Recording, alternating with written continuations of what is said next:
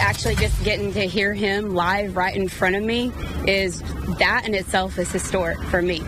Excitement is building around President Trump's visit to Tulsa Saturday. People are setting up tents outside the BOK Center, hoping to catch a glimpse of President Trump and Vice President Pence. Good morning. The time now 7 o'clock. I'm Michelle Lynn. And I'm Ron Terrell. The White House says a million people have registered for tickets, but the BOK has a capacity of just over 19,000.